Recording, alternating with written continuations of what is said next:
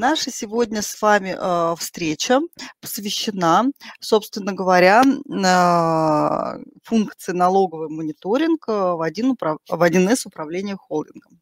Что сегодня будем рассматривать? Сегодня хотелось бы рассмотреть непосредственно с чего вообще начинать э, налоговый мониторинг, то есть такие теоретические аспекты, и непосредственно как это реализовано а, в системе. Да, вот по преимуществу налогового мониторинга прям несколько слов сказать, для чего это нужно и какие э, даются преимущества. То есть что такое налоговый мониторинг?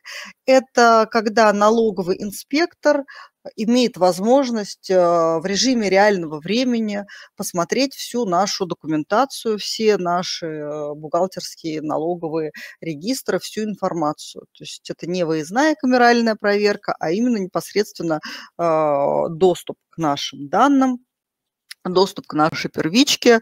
А, при этом налоговый инспектор может еще привлекать и каких-то экспертов, а, сам может всегда смотреть. То есть, как бы казалось бы, ну, что тут хорошего, да, полный доступ постоянно. Но, тем не менее, есть преимущества от этого, не просто так это сделано, реализовано. И вот для того, чтобы понять, а какие плюсы мы от этого имеем, а, как раз а, сейчас с вами это и увидим, просмотрим. Итак, что у нас есть? Какие э, преимущества?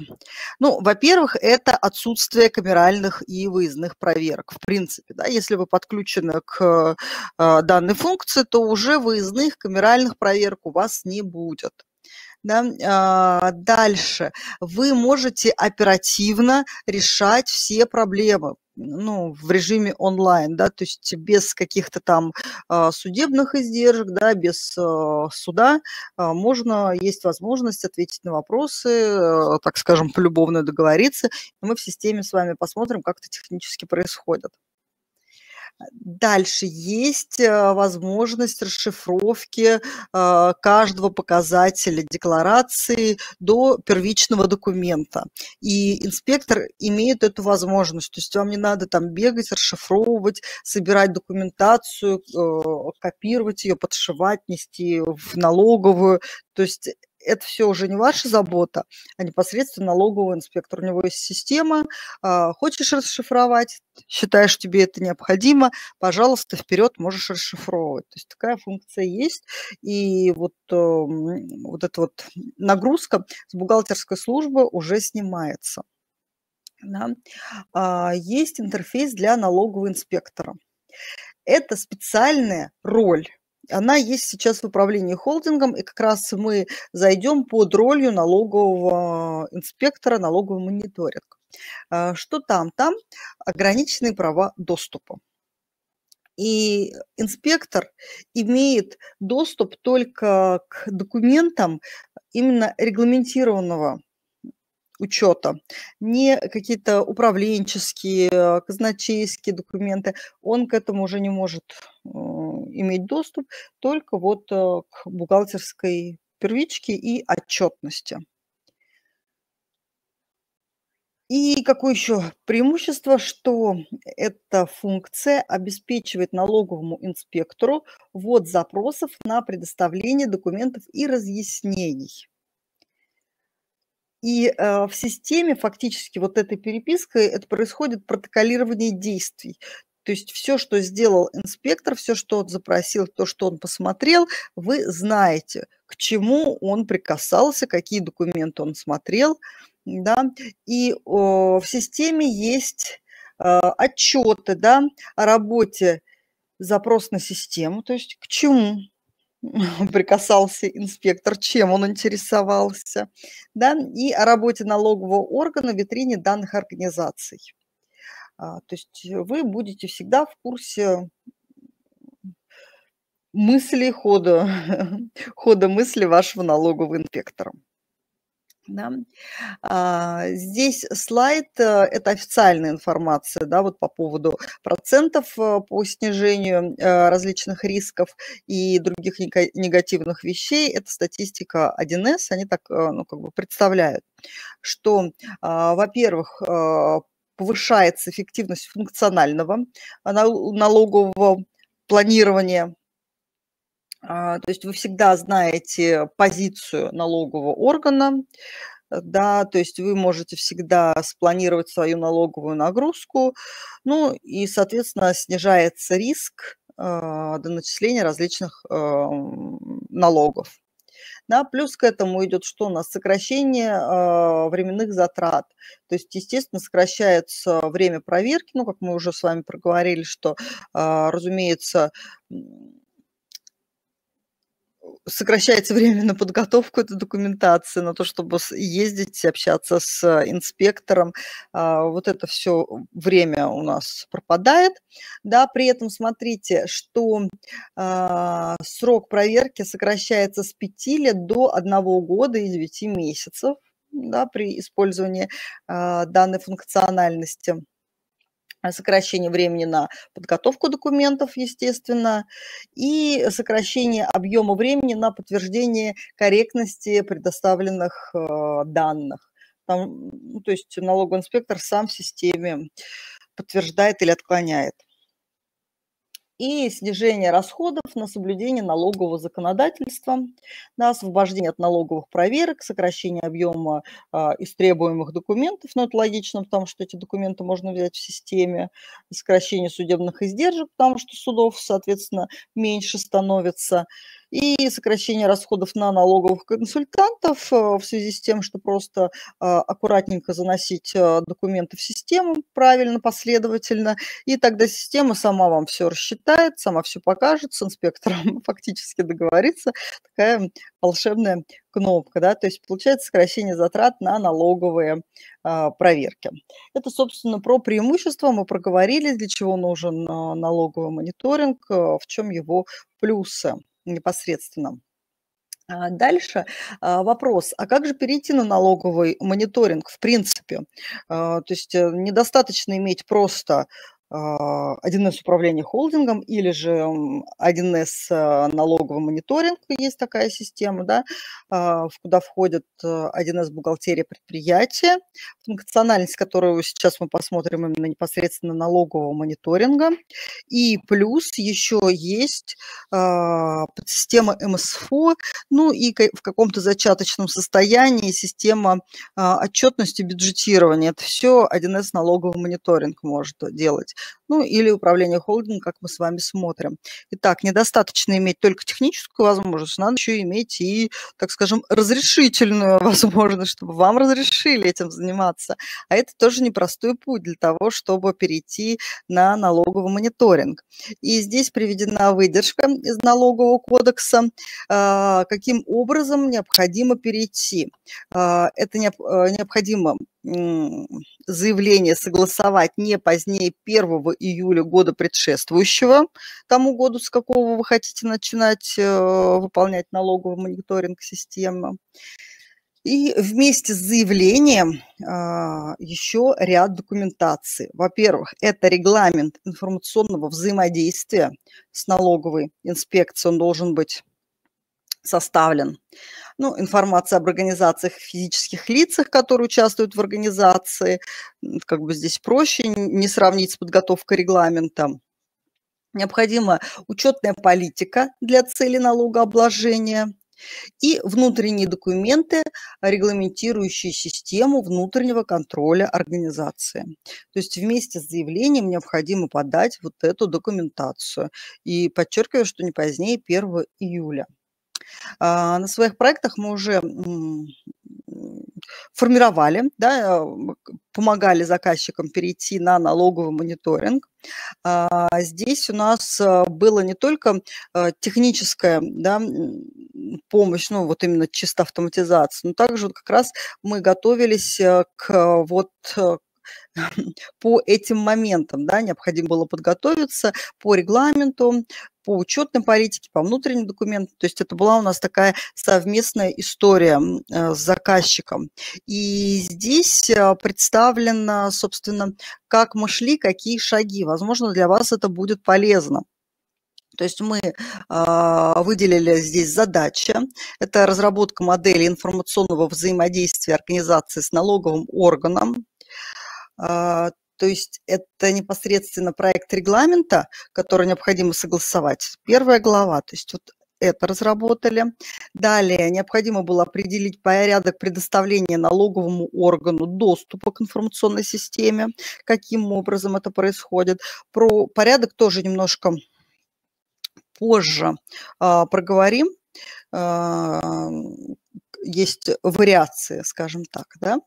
Дальше а, непосредственное обсуждение а, с налоговой инспекцией, с представителями налоговой инспекции самого проекта. То есть мы обсуждали, так это будет, не так, ну, в какой форме, ну, то есть согласование, потому что налоговая инспекция должна принять этот документ и согласовать со своей стороны. А, то есть вот это первая задача такая большая, глобальная. Вторая – это подготовка порядка ведения бухгалтерского налогового учета и формирование отчетности. И плюс к этому а, моделирование на тестовой базе. Вместе с документом регламент а, налоговая инспекция запросила ну, так скажем, демонстрацию, демобазу, а как это будет в реале. То есть бумага – это бумага, то, что есть на бумаге, да, хорошо согласовали, а как же это будет в системе. И вот как раз а, происходило моделирование а, с демонстрацией а, налоговой инспекции, налоговым инспектором, там комиссия была, а, какие же шаги необходимо было провести. То есть вот, вот это было проделано. Следующее. Необходимо, как мы уже посмотрели по а, налоговому кодексу, предоставить и а, информацию по внутреннему контролю организации. Это также мы отдельно описывали, да, а, какие контроли, а, какие уровни контроля есть. Эм, это все было также описано и также отдельно согласовано. Здесь написаны а, даты, до какой даты. Почему? Потому что мы помним, что до 1 июля должны подать. То есть все действия у нас должны быть выполнены до 1 июля.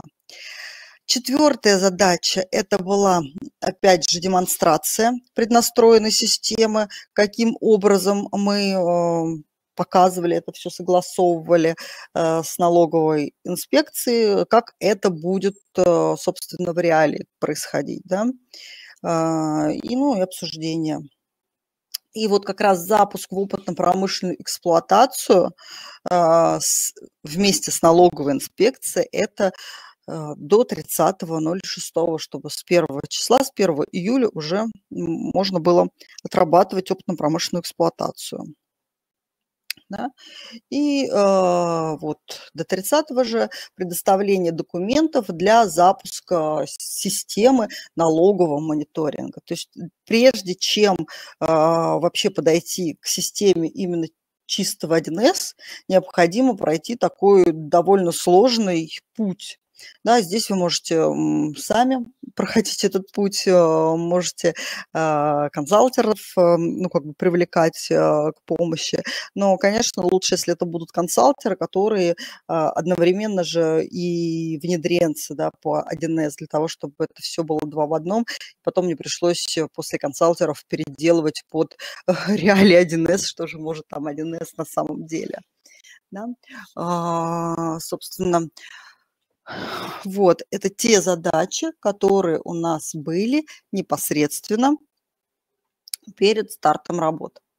А теперь немножко, вот я говорила, что есть вариации, варианты архитектуры. Какие у нас варианты архитектуры есть? А, смотрите, есть два варианта. Первый вариант – это когда у вас рабочая база, да, есть рабочая база, вы в ней работаете, управление холдингом, или туда консолидируются данные, или как-то попадают из внешних информационных баз, ну, неважно, в общем, а, РСБУ и налоговый учет у вас ведется непосредственно а, в вашей системе. И вы налогового инспектора запускаете именно в свою рабочую базу под ролью какую мы с вами сегодня посмотрим сейчас, да, что видит э, непосредственно налоговый инспектор. То есть он работает в вашей базе под своими а, правами. Ну, собственно, вот первый вариант. Второй вариант – это непосредственно витрина данных. То есть ваша база – это ваша база, вы туда никого постороннего не пускаете, но э, есть ну, а копия базы, да, витрина данных, куда поступают, загружаются с определенной периодичностью. Конечно, там должны быть свежие данные, они там полугодичной давности. Э, те данные, которые вы считаете должны попадать для налогового инспектора. То есть такая витрина данных, и как ее настроить, ну, так, примерно, да, как настроить, мы тоже сегодня с вами посмотрим. И, и первый вариант – и второй вариант, они оба имеют место быть. Да? То есть заказчик сам выбирает, что же он хочет. Э, очевидно, есть плюсы и минусы у каждой из а, систем. Ну вот по первому варианту плюс, что не нужно поддерживать никаких э, интеграций, каких-то витрин данных. То есть это дешевле в эксплуатации, ну, как бы проще. Есть роль, как бы если сильно переживаете, можно зайти под этой ролью и протестировать, а какие же документы там действительно видны. Вот. Но при этом, вот при этом варианте, он вполне рабочий, но при этом варианте некоторые заказчики считают, что есть некие риски, что а вдруг, а вдруг не сработает э, витрина данных или что-то еще, да, и допустим, у вас э, установлено для одной организации, а у вас в базе три ведется, а вдруг что-то слетит, он увидит все три базы, или, ну, не знаю, какие-то вариации, да, там есть а, в голове у заказчика.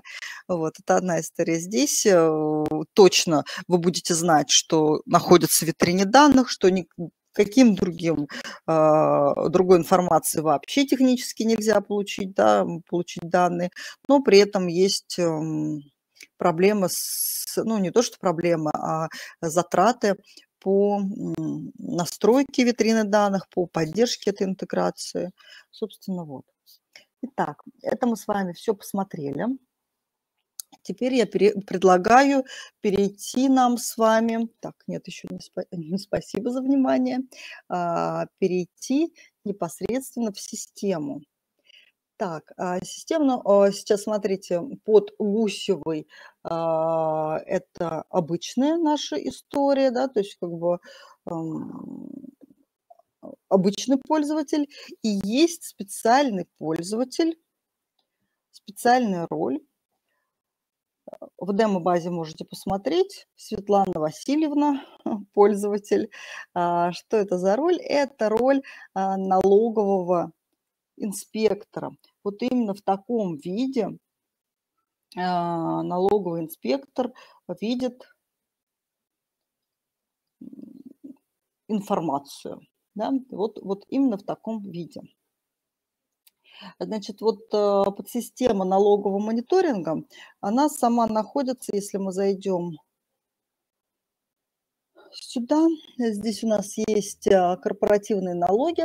Это я уже под а, пользователем, да, обычным. Здесь есть подсистема корпоративные налоги есть налоговый мониторинг. Вот подсистема налогового мониторинга выполняет какие функции? Она, во-первых, э, система, она система взаимодействует с межрегиональной налоговой инспекцией, то есть общение именно через систему вы можете делать. Да, вот видите, запросы налогового мониторинга, ответы на запросы налогового мониторинга. Сюда поступают запросы, здесь вы отвечаете, даете ответы. То есть вот непосредственно вот взаимодействие именно в данном рабочем месте у вас происходит. А, дальше публикация данных для цели проведения налогового мониторинга если мы делаем с вами витрину данных, и выполнение процедур внутреннего контроля в отношении данных бухгалтерского и налогового учета, а также э, здесь же формирование расшифровок налоговых деклараций, регламентированных отчетов и другой э, различной информации, которая передается налоговому инспектору.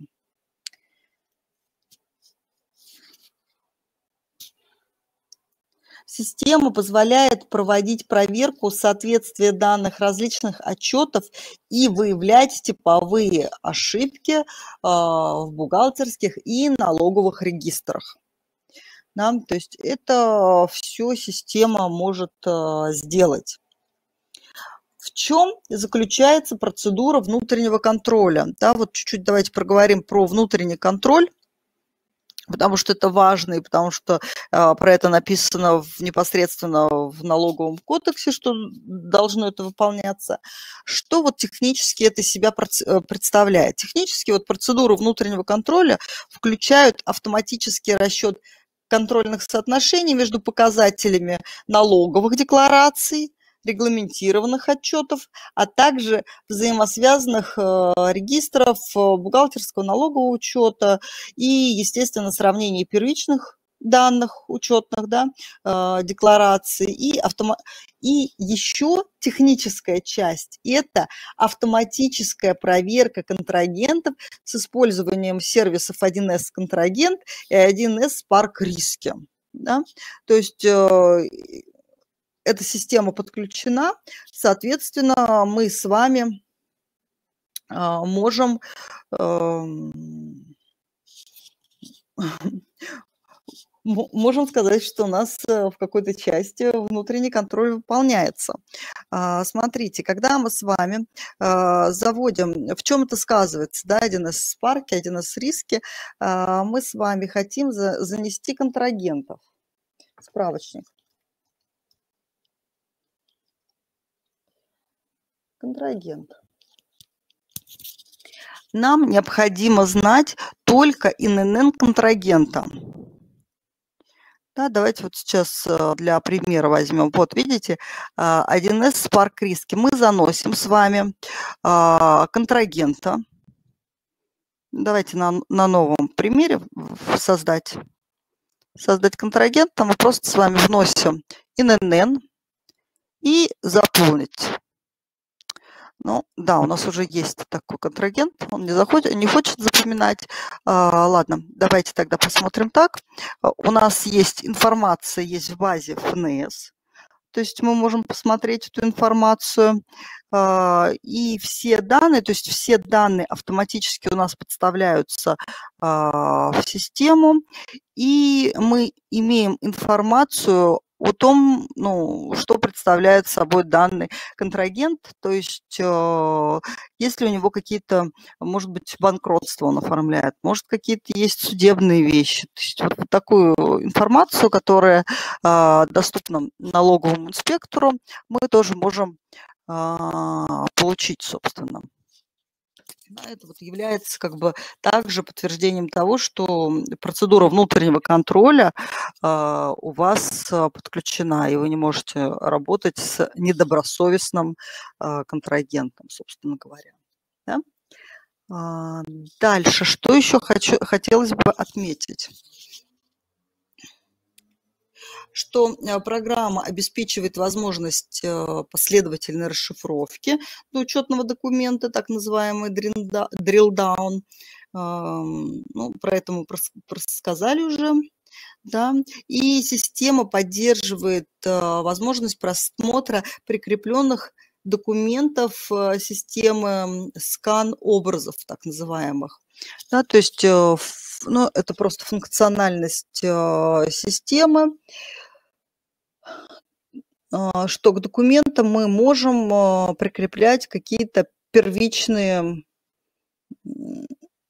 какие-то первичные документы, да, сканы. Допустим, вот мы хотим, а, давайте авансовый отчет возьмем, да. Вот сейчас, секундочку. И мы увидим, что к авансовому отчету Ровно так же, как и к другим документам, мы можем прикрепить э, информацию. Да, вот, либо отсюда, либо зайти непосредственно в систему. Есть у нас какой-то авансовый отчет, и мы хотим посмотреть, из чего он состоит у нас. Да, вот, э, по идее, товарищ, который у нас отчитывается, Захаров Кирилл, он должен был прикрепить сюда первичку. Как ее прикрепить? Мы просто загружаем какие-то данные да, из системы. А, и дальше ее здесь увидим. Да? Ну вот, ну, пускай вот, вот так будет, да. Все. И теперь э, всегда можно посмотреть э, этот документ э, непосредственно отсюда. Да, мы откроем этот документ и увидим, что он из себя представляет. Вот, открыли документ, посмотрели, закрыли. А, и вот а, таким образом у инспектора будет такая же возможность, собственно, да, просмотреть эту информацию. Итак, давайте пойдем теперь к роли непосредственно инспектора. Посмотрим, что же он видит. Вот, это наш инспектор. Давайте чуть-чуть покрупнее сделаем.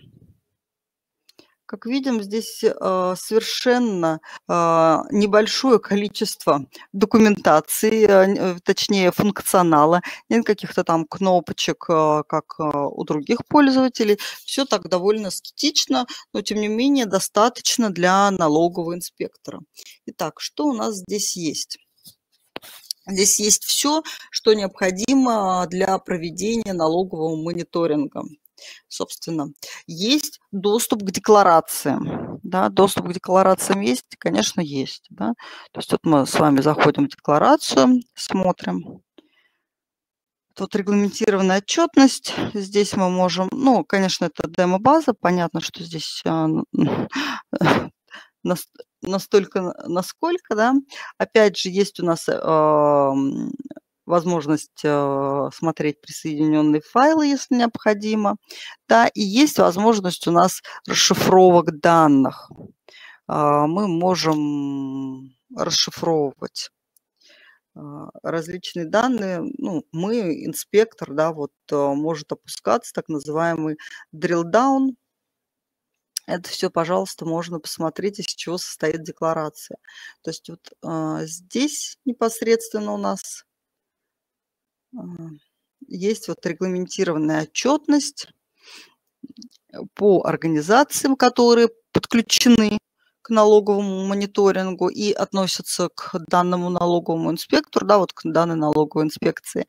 А, здесь э, на данном рабочем месте мы видим.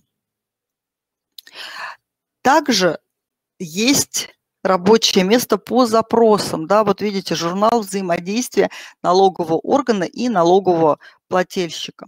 И здесь вот мы можем создавать какие-то э, запрос данных. Есть преднастроенные основания – при необходимости мы можем добавить как раз вот а, в регламенте взаимодействия. Мы это все с вами прописываем, и какие основания для запроса. Вот а, все это документируем, согласовываем непосредственно с налоговой инспекцией. А, значит, какое основание, по какой форме отчета, по какому номеру главы, что, главы налогового кодекса, что мы хотим получить, собственно. Да? Здесь суть запроса, что мы хотим написать, описываем а, в текстовом формате, и какие же документы нам необходимо запросить, что мы хотим с вами запросить. Здесь вот список документов. Таким образом у нас а, запрашивается эта информация. А, отправляем запрос, когда у нас составлен сейчас не будем да, отправлять. Вот пример, да, пояснить, почему сумма отражения в строке НДС по приобретенным ценностям не соответствует налоговому регистру, да, пожалуйста, ответьте, почему не соответствует у вас. Ну, вот, вот таким образом идет э, взаимодействие. Есть у нас э, галочка, что отметка об обработке устанавливает сам налоговый инспектор, что да, он это все дело обработал и понимает почему. И также отсюда мы можем с вами открывать ответ непосредственно, что же нам ответил э, наш э, проверяющийся, да, что же, что же он ответил нам на то или иное. Итак, это у нас декларации, это журнал взаимодействия. Вот таким образом вы видите, что налоговый инспектор имеет э, доступ только вот э, к функционалу налогового мониторинга. И здесь у нас э, доступно только перечень налоговых деклараций, запросы и какие-то ссылки на контрольные расшифровки, на аналитические отчеты, а, на данные налоговых регистров, да, вот, то есть мы можем здесь э, посмотреть, упасть, допустим, в книгу продаж, можем посмотреть, из чего она состоит. Ну, к примеру, ну, сейчас у нас здесь демо-база, понятно, что здесь э, свежей информации точно не будет, но тем не менее вот мы можем с вами формировать вот, э, информацию, что здесь представлено у нас. Собственно, что еще э, хочется рассказать здесь? Наверное, вот именно по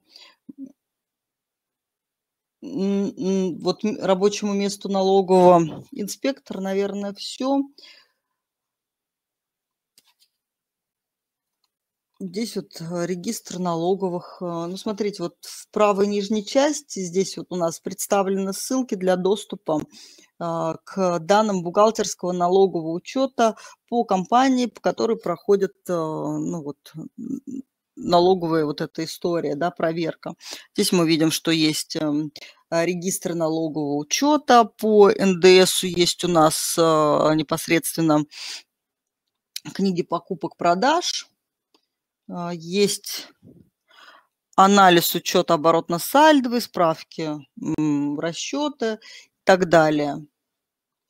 И вот взаимодействие, здесь у нас сейчас не видно, вот по взаимодействию, здесь у нас есть реквизиты журнал взаимодействия, ответы на запросы, отчет о работе запросной системы, отчет о работе налогового органа да, и реквизиты по умолчанию налогового мониторинга.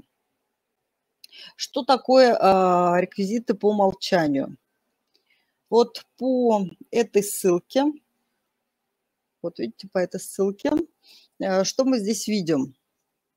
Налоговый инспектор, по какой организации он работает. То есть вот Светлана Васильевна у нас видит только а, логистическую компанию за 2019 год, а Беляев видит у нас УК «Дельта» за 2020 год. То есть вот э, какие у нас настройки, какие права пользователя у нас есть, собственно, к системе, э, какому инспектору конкретно мы разрешаем, кто с нами взаимодействует. Да?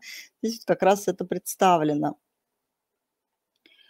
А, да, вот при создании инспектором запроса данных налогового мониторинга а, будут автоматически подставляться вот эти вот данные.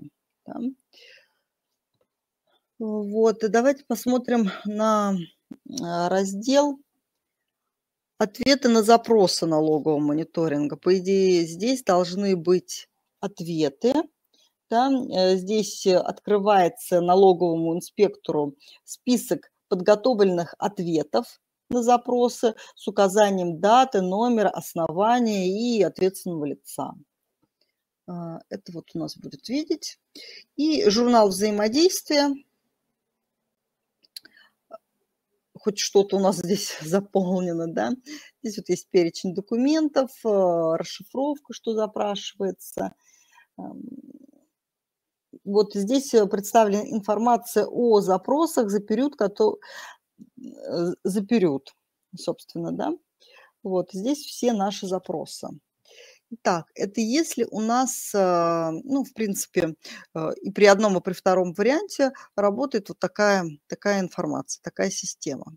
Да, но, как мы говорили с вами, что есть возможность сделать а, витрину данных, то есть копия базы, куда непосредственно выгружаются данные.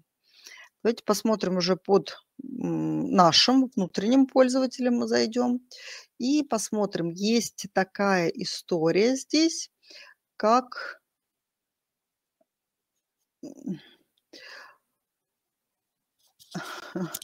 а, рабочее место, где мы с вами настраиваем а, обмены, обмены данных. Что она из себя представляет? Э, это как раз место, где мы описываем, задаем данные, а, что будет у нас уходить в витрину данных какая информация непосредственно. То есть мы хотим а, выгрузить такие-то справочники, указываем, какие справочники. Если мы снимем а, галочку, то данные справочники у нас уже выгружаться не будут. То есть здесь мы задаем варианты того, что мы разрешаем выгружать в эту витрину данных, да, вот э, справочники, документы, какие регистры сведений э, вот э, в данном рабочем месте у нас эм, задаются. И какие организации, то есть мы можем с вами задать здесь организации, какие выгружаются, то есть не по всем организациям выгружать данные, собственно, да. Есть различные сценарии, то есть мы можем с вами э, задать разные сценарии для выгрузки. Ну вот, собственно, вот таким образом работает э, рабочее место по обменам, по выгрузке данных. Э, как таковое именно доработки здесь, наверное, ну, может, какие-то и требуются, но не какие-то там значительные, да, э, как бы сказать, для какой, э, для какого-то творчества здесь, э, как, допустим, в бюджетировании места точно нет. Здесь очень близко к, к РСБУ, да, вот к функциональности я имею в виду именно к подходу, что есть четкие регламенты, четкое понимание, что необходимо делать, а, четкие положения. Вот а, регламент мы с вами согласовываем перед началом работы непосредственно с налоговой инспекцией, регламент взаимодействия, и уже в соответствии с этим регламентом взаимодействия четко прописываем, что же у нас будет происходить а, в нашей системе, каким образом мы должны будем с вами взаимодействовать. Коллеги, какие есть вопросы? Напишите вопросы, пожалуйста. Мне кажется, я рассказала все, что, что можно было да, рассказать за это короткое время.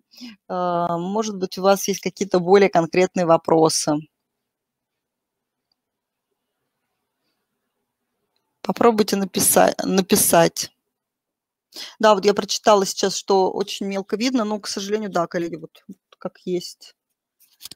А, в любом случае вы можете открыть э, демо-базу, да, откройте демо-базу и зайдите под пользователем, сейчас я вам скажу, вот, пользователь, Светлана Васильевна, она так и называется налоговый мониторинг. То есть если мы посмотрим, как называется пользователь, то это как раз вы не ошибетесь, э, что налоговый мониторинг называется. Вот, э, пользователь Светлана Васильевна, налоговый мониторинг. Собственно, можно скачать, посмотреть, что есть, посмотреть. Да, вот здесь вот отвечает, что Ирина, что будет э, видео в более широком формате, то есть вы лучше будете видеть, чем сейчас. Еще, наверное, надо отметить, что пока не каждой организации доступна эта функция налогового мониторинга, да, только для крупнейших налогоплательщиков пока налоговая инспекция готова идти на такие э, шаги, скажем так. Еще пока не каждым, но, естественно, с каждым э, днем, ну, пускай не днем, а с каждым годом все шире и шире будет э, список тех организаций, которые должны, которые подпадают под налоговый мониторинг. Коллеги, спасибо. Всем хорошего дня. До свидания.